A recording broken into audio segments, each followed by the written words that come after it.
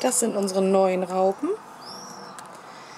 Die habe ich Montag im Hildener Stadtwald gesammelt und wenn alles gut geht, werden da Landkärtchen draus.